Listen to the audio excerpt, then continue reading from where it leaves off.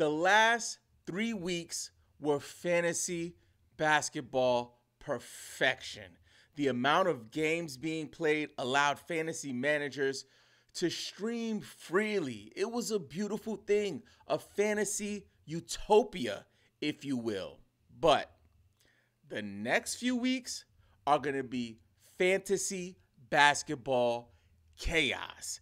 In this episode, we're going to do our very best to prepare you to win your matchup in the fantasy basketball playoffs. We believe every NBA fan that plays fantasy football should also play fantasy basketball.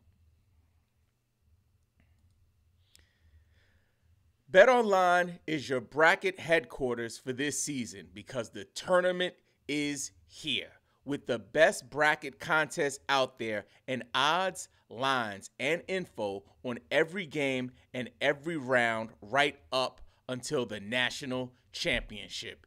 You can access the most up to the minute wagering information anytime from your desktop or your mobile devices and even track your bracket real time all the way through the tournament. Head to BetOnline today and get in on all the action. Remember to use the promo code BELIEVE for your 50% welcome bonus on your first deposit. Bet online, the game starts here.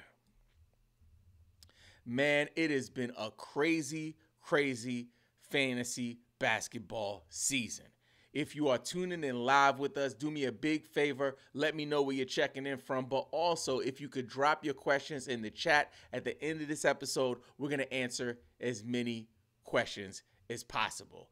I want to let you know that I am really, really excited about serving you with this show. But also, man, we're winding down the, the NBA season. So it's always a little bittersweet for me. This is our third season of doing the the channel here and we're just super grateful for everyone who supports. Now with that being said, let's dig in to the top 10 waiver wire targets you need to focus on for week 22 of the fantasy basketball season.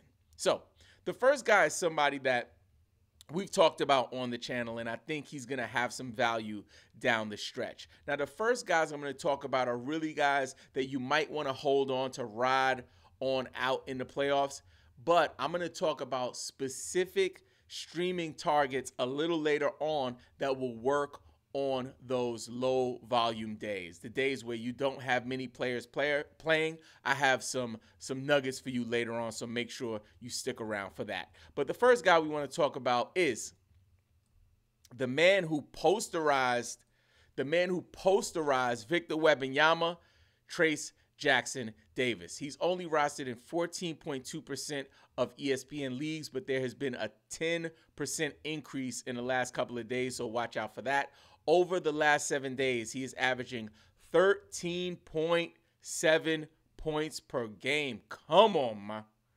Eight rebounds, two assists, 0.3 steals, eh? But check this out. Listen up close. You gonna love this one.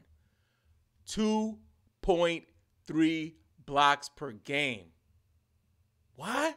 Where they do that at? I'm just saying over the last seven days, your man is a block machine. So for me, he's the kind of player you want to hold on to. Again, start to gauge your team to see who are who who the expendable assets are, and if you could put a person like Trayce Jackson Davis in the mix, long term, it could help you win your fantasy championship. The next player I want to talk about is someone, again, we have discussed on the channel. And last week, he had kind of a crummy, crummy schedule. This week, not so much. He kind of has a, a standard schedule, but again, is someone that could contribute to you winning your championship down the stretch from the Charlotte Hornets. Once again, my man, Vasily Micic. Now, word on the street is your man was no joke in Europe, and people are still sleeping on him. Yo, I heard he won the MVP over there. Like, this guy is for real, and there is no sign of LaMelo Ball making a return to to hero a heroic return to your squad, right? So it's like for me, I'm really locked in on who can provide the value now. He's only rostered in 7.3% of ESPN leagues. Over the last seven days, he's averaging 28.5 minutes per game, up from 17.7 minutes per game that he's averaging on the season. He's averaging 14 points per game over the last seven days, two rebounds, 3.5 assists, and about half a steal and half a block. So you are going to get some value from him, and he's going to have spikes. So it's someone that I'm looking at on the 13th of March, he went bananas for 25 points, eight assists, two steals. Like just the kind of player that can be a, you know, a game changer in terms of you pursuing that fantasy basketball championship. The next player we want to take a look at is someone we haven't talked about so much on the channel. And honestly, a lot of people are talking about him, and I just felt like, you know what? I'm trying to find 10. Everybody else is feeling him. Not my favorite player on this list, but we'll talk about him none the less. I'm talking about your man's in them, not man, not my man's in them. Corey Kispert. Corey Kispert over the last seven days is averaging 31.5 minutes per game, which is amazing. 13.3 points, 1.8 assists, 1.5 uh, I'm sorry, 1.8 rebounds and 1.5 assists, about a half a steal a game. Nothing sexy. It's not not anything I'm like running home to go tell my auntie and them about, but still someone you want to keep an eye on. Next up is someone I'm a lot more interested in, and I think can have the the same kind of impact as a Trayce Jackson Davis, of a Vasily Micic. I'm talking about your man's in them and my man, Tre Mann. My man, Tre Mann, see what I did there? Listen, over the last seven days, Tre Mann is averaging 29 minutes per game, 10 points per game, 3.5 rebounds, and you're going to love this one. Come close for this one. Tre Mann in the last seven days is averaging seven assists per game. Wait, I am not done. He is also adding one one steal per game, one steal per game, and his his season stats or season average, I should say, for steals is also one steal a game. So like that's something that we can bank on. I really, really like that. Next up, somebody that I honestly, if you would have told me that this brother was gonna be on my list at any point of the season, I would have probably looked you in your face and told you, use a lie. It's no way, it's no way that this guy is going to be on any list that I drop this year. Any positive list, I should say. He is not going to be on any of the waiver lists, and he hasn't been. But anything is possible. And like I said at the beginning of the video, this is going to be sheer chaos. Expect the unexpected. The next guy I want to talk about, to my surprise, probably not to yours because you are a fantasy basketball sicko and you're paying attention to everything that's coming out, but I got to talk about him. Yep. James Wiseman. What? What? What? Robin who? Who? Who did you who did you say? Yes, I said James Wiseman. Typically hot dog water, James Wiseman. Dumpster juice, James Wiseman. And no disrespect to James Wiseman. I'm just talking about your fantasy game, brother. Like I always say, the disclaimer is every NBA player is nice. There's no way you made it to the league if you so there's no bad NBA players. those are the best 450 players on the planet. But James Wiseman for fantasy? Come on, man. Over the last seven days, he's averaging 24 minutes per game. Yes, 12 points per game. Let's go. 7.3 rebounds. Huh? 2.3 assists. Eh. About 0.3 steals and a half a block. So I'd like to see more defensive stats from him, but the fact that he's grabbing seven boards and 12 points over the last over the last seven days is a remarkable feat. I would have never expected that uh, from James Wiseman, so I'm pleasantly surprised. But at the same time, this this is the silly season. Anything can happen. Anything can happen. Next up, somebody we have talked about on the channel, and we really love what's happening and the potential that this young man has. I'm talking about from the Portland Trailblazers. Delano Banton. Over the last seven days, Delano Banton is averaging 29.5 minutes per game, up from his season average of 15.8 minutes per game. On the on the in the last seven days, he's averaging 13.5 points, four rebounds, 2.3 assists, 1.3 steals. Yes. Listen, Anthony Simons banged up, right? There's Malcolm Brogdon banged up. There's a lot of opportunity for Banton. So if you grabbed him, I would see if you could ride it out. If you need to make moves to let him go so you can stream in other players, that's completely fine. But definitely pay attention to his progression over the last over the next few weeks. Next up, uh, as you know, the Memphis Grizzlies have been a fantasy basketball triage emergency room. Like, really? Everybody's banged up. Everybody, everybody's injured. We got John Morant, Marcus, Marcus Smart. The list goes on and on and on. Desmond Bane is in and out. We don't know what's happening, but there is still tons of value here. Another person that we love on the channel, talking about my man, GG Jackson. Over the last seven days, this is wild, yo. Get ready for this stat. Mm. Over the last seven days, GG Jackson is averaging 38.7 minutes per game. Top is off. Boobies is out. Hair blowing in the wind. Convertible status, yo. Your man is getting the run. Over the last seven days. Man, this gets good. This gets good. 23.7 points per game. What? Huh? Let that sink in. 23.7 points per game. Mm. In over the last seven days, 6.7 rebounds. Yes two assists, and one steal, no blocks. Listen, again, this is not something that's like the forever game. This is the next couple of weeks in the fantasy basketball playoffs. If you didn't start your playoffs in late March and you started later, like you might be starting your fantasy basketball playoffs like right now. You might be in your second week. You might be going into your finals. So this is the kind of guy that could put you over the edge. And you know how I do. When I when I go when I go Grizzlies, I go all the way Grizzlies. The next guy we want to talk about is Santi Aldama.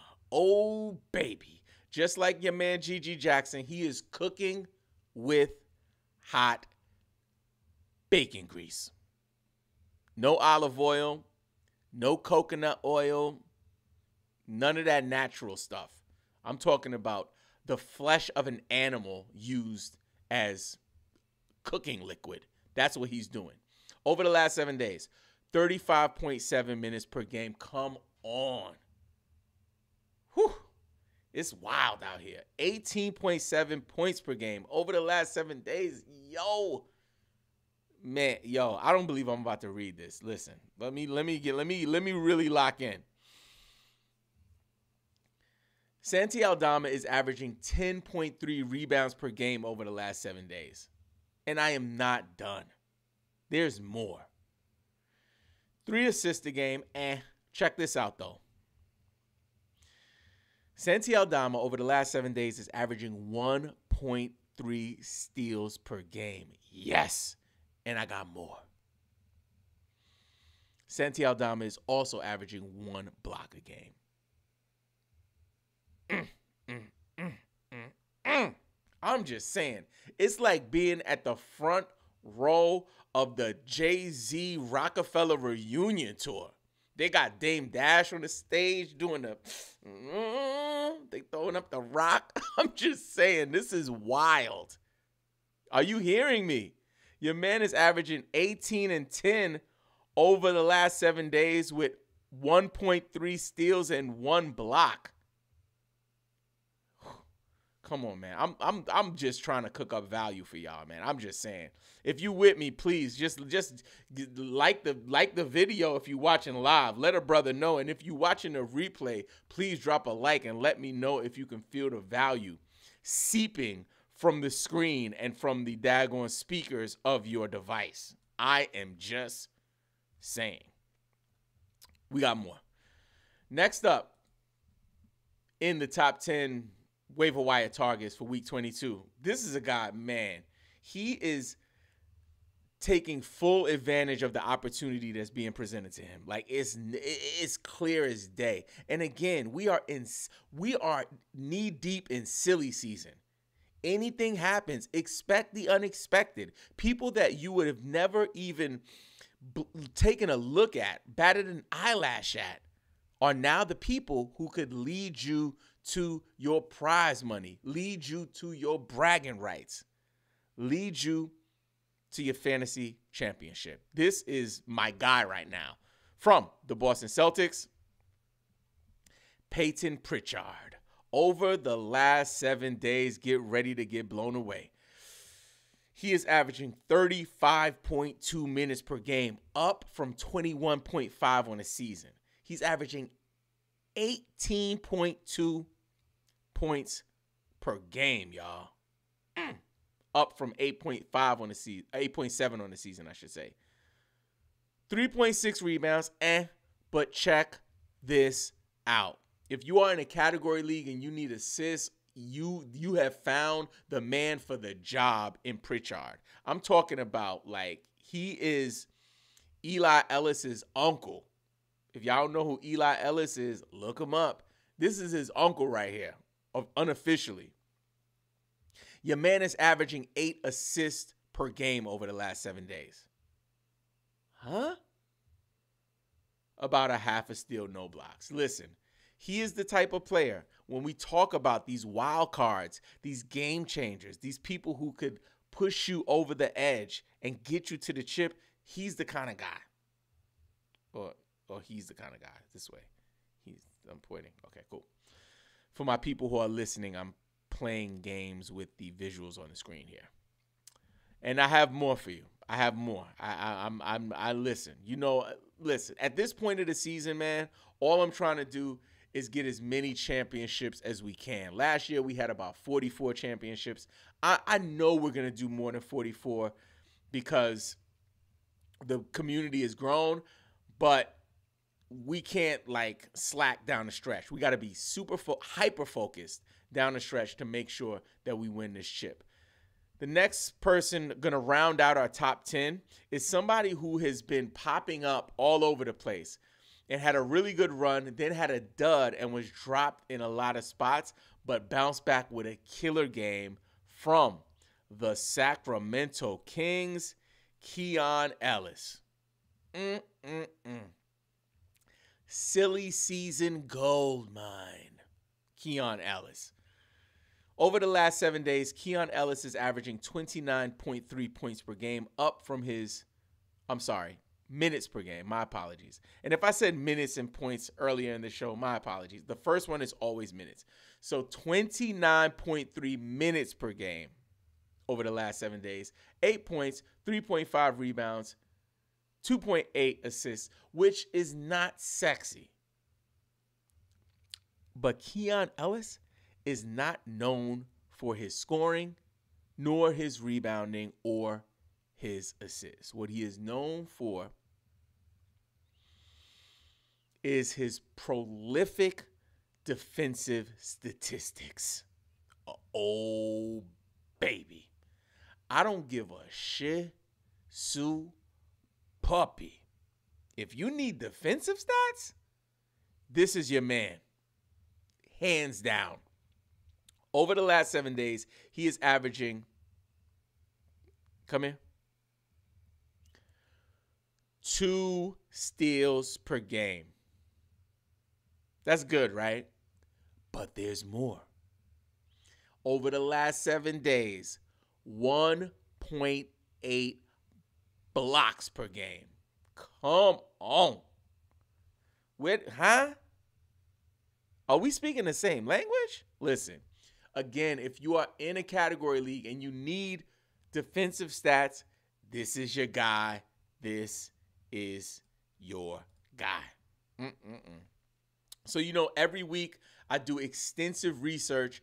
I'm like reading articles all over the internet. I'm listening to my, you know, my fellow fantasy basketball analysts on Twitter, all over the internet, uh, on YouTube. Like I'm watching the videos, everything. Some of these players I'm not really checking for, but these are the players that people are talking about, and I'm about to like run down the bonus round. So the top 10 are people that I'm really all for.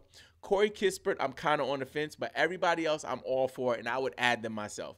These players, not all of them, some of them are must add players, you know, people that you really have to look at. But at the end of the day, I just got to provide the value. Let's go into the lightning round. Justin Champagnie. Mm, I like him. Aaron Nesmith. Yes. Put him on your roster. Nick Richards. Uh huh. George Niang. Mm, with Mobley returning, not as high as I was on him, but still worth a look. Andre Drummond. Eh, I don't know. Amen Thompson. Yes. Simone Fontecchio, mm, let's see if he gets healthy. TJ McConnell, McConnell, yes. Josh Hart, yes. John Konchar, let's see. Luke Kennard, let's see. Naz Reid, mm, maybe. Dennis Schroeder, I'm kind of out on him. Jock Landale, maybe. Jalen Suggs, yes. Jake LaRavia, yes. McBride, Maybe. Kyle Anderson, yes. Paul Reed, absolutely. Put him on your roster. Bruce Brown, yep. Keyonte George, must roster player. If you are in Dynasty and someone drops him, grab him quick. Like, that is a red alert. Deni Avdija, yes. Isaiah Hartenstein, yes. Kelly Oubre Jr., yes. Richaun Holmes, mm, maybe maybe, maybe, maybe. So, I got something I want to cover really quick before we go into our next segment. So, I, I'm getting a lot of questions on TikTok, specifically on TikTok, about dropping certain players, right? So, people want to know, hey, hey, Robin, uh, oh, I know you're busy, but if you can get back to me, just let me know because I got LaMelo Ball and, you know, I'm trying to figure out should I drop him because my playoffs start this week and I don't know what I'm going to do. Bro, listen, I love LaMelo Ball, but he ain't healthy. He ain't healthy. I don't think he's going to get healthy. With that said, if you need to, you don't have an IR spot, or you have an IR spot for a player that's on the brink of return, like let's say someone like Evan Mobley just came back. If you needed to put an Evan, Evan Mobley type player in there, okay, cool. That's what I'm doing. But we don't have any news on what's going to happen with LaMelo. So at this point, if you need to drop, it's completely fine. Now, if he comes back the last the last two days of your fantasy basketball championship and your the the the opponent that you're facing in the finals grabs him and somehow gets him on his team, the chances of LaMelo playing big minutes with only a few weeks left in the season are like it's a long shot. It's it's a long shot. So, if you need to drop LaMelo, drop him. Next, Julius Randle. If you need to drop him, drop him quick. OG Anunoby, if you need to drop him, go f- drop it like it's hot. Get your Snoop Dogg on. Drop him like it's hot. Uh, Anthony Simons, same thing. If you need to drop him, just drop him. And then we had questions about um, Brandon Ingram. Brandon Ingram, like, I don't think he's gonna get any major run down the stretch, but I would be I would monitor the news to see if you can get more input on him before you drop him. But again, if you're in the playoffs, like what are you what are you holding him for? If you're down by 30 and it's the last week of your fantasy basketball playoffs, or even if it's the first week and you're at risk of losing, you could drop any of those guys if you need to stream another player in. I'm just saying. I'm just saying. Listen, this is very important. If you are playing fantasy basketball, you need to be a two way player. You need to play offense, you need to play defense. When you play offense, we're talking about you subscribing to our YouTube channel. Big shout out to our entire community. We just hit 10K followers this week. So, this is our first episode since crossing that 10K um, milestone. And we're just super excited for everyone who supports what we do, but we we have a bunch of people who are not subscribed. So if you are watching this and you haven't subscribed, just take a minute and you can support the channel by doing that. Also, make sure you're active in the comments and please like the episode. Now on defense, what we need you to do is listen to the podcast. We have a podcast. It's available on on Spotify, on Apple Podcasts, wherever you listen to podcasts. We have a partnership with BLEAV and we want to make sure that we're showing up for them as well. So please, if you watch the show on YouTube, also check out the podcast. If you just listen to the podcast, please go check us out on YouTube. You can do both. It is totally fine. If you want to, you can tag me on social media, show me your daggone Spotify app that you're doing it, and I'll share that. Um, I'll share that link in my stories. Now, other ways that you can support the channel, we just got a brand new partnership. So like we got a couple of our um, community members who gave us like super thanks where they give us like a little tip which is really kind and we appreciate that. We understand that not everybody you know that everybody doesn't have cash on hand to be like throwing five dollars to the fantasy basketball guy. Like i get it and i'm not listen you come here i do this for free. I'm not trying to get rich off of this. I'm doing this because i'm trying to build a community and i'm thinking about the long game of what we can do to bring attention not just to fantasy basketball, but to NBA fans in general, right? Just giving us a place to hang, chill, and talk hoops. But if you want to support, we have a brand new partnership. And through this partnership, you can help the channel, support the channel, but you can also get free stuff. The new partnership is with a company called Drip Shop Drip Shop Live or Drip. Basically, what it is, it's a live streaming sales um, kind of app where people sell their collectibles, their their sports cards, Pokemon cards, all of these kind of things on this platform, and we just got a partnership with them.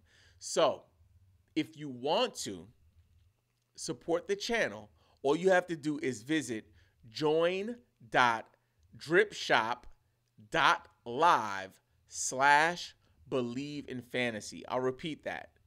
Join.dripshop.live slash believe in fantasy. And here's what Drip will do for you. This is crazy, y'all. They will give you a sign up bonus up to $250. And guess how much you have to pay? Absolutely nothing. All you have to do is open up the daggone or your your daggone um browser on your phone. Please do it through your browser on your phone, or you can do it on your browser on your computer and put in join.dripshop.live slash believe in fantasy. And then they're gonna give you up to $250 for free you can actually take the $250 credit and start shopping that night. You can buy yourself a, I got one of these. You can grab something like this. You can grab a graded Michael Jordan card. You can grab a, a box of, of NBA Prizm. You can buy if you if you have kids and you want to get them like Pokemon, whatever you want to do, you can just pick what you want and you can actually use the credit immediately, no strings attached. And the most important part,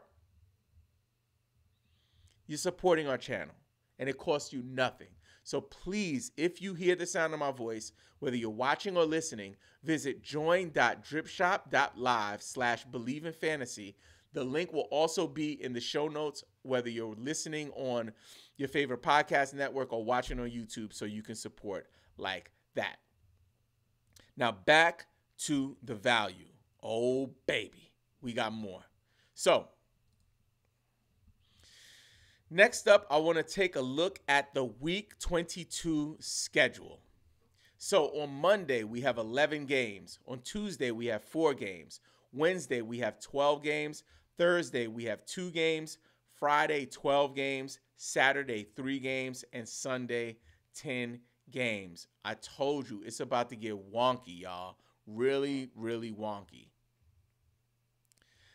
The teams with four games we have Atlanta, Brooklyn, Charlotte, Chicago, Cleveland, Dallas, Denver, the Warriors, Houston, Clippers, Lakers, the Knicks, Thunder, Sixers, Kings, Spurs, Jazz, and the Wizards.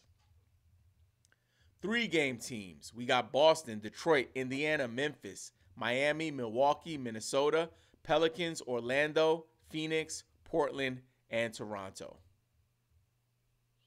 Now let's talk about the back to backs. The Monday, Tuesday back to back, we got Dallas and Sacramento. The Tuesday, Wednesday back to back, we got the Warriors, Lakers, and the Thunder. The Wednesday, Thursday back to back, we got Atlanta. The Thursday, Friday back to back, no teams have that. Friday and Saturday, Orlando has a back to back. Saturday and Sunday, no back to back. And this is very important, guys.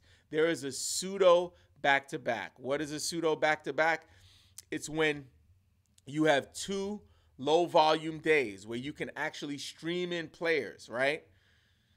But in the middle of those two days, there's a there's a high volume day or a day where you can't stream players in. So Thursday and Saturday, we have that back to back. Friday, you will not have the ability to stream in players, but on Thursday and Saturday, you can. Atlanta, Boston, and Milwaukee. I mean, and the Pelicans. So Atlanta, Boston, Milwaukee, and the Pelicans have that Thursday and Saturday pseudo back to back. This is critical, y'all. And in a minute, we're going to talk about some players that you can actually target who play for those teams. And here are the teams with the best schedules. We have uh, the, I have a typo here. My apologies. This is actually supposed to be three quality games. This is not four quality games. So my apologies.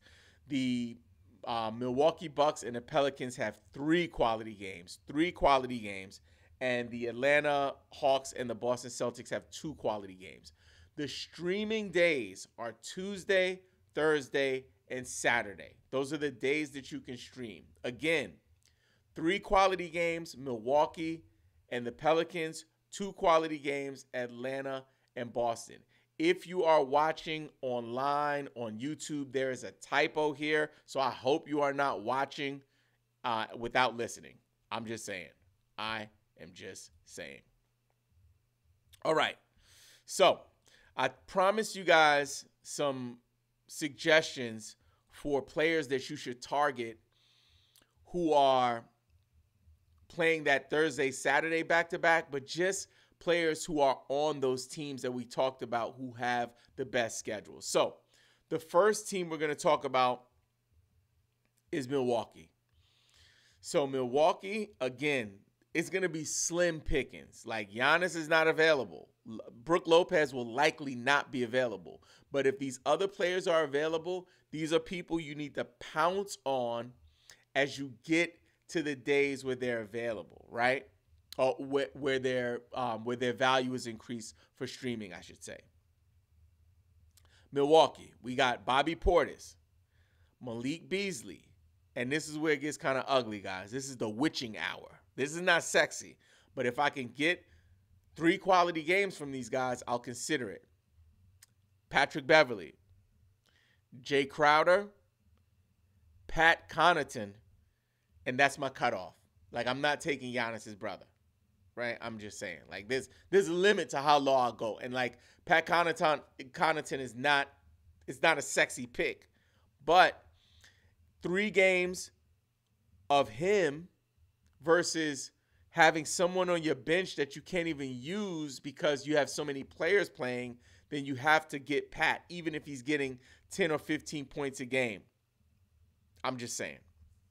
The next group of players are from the Pelicans.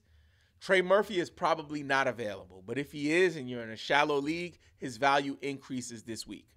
Herb Jones might be available. If he is, grab him. Larry Nance Jr., Naji Marshall, and here's my cutoff point Jose Alvarado. Huh?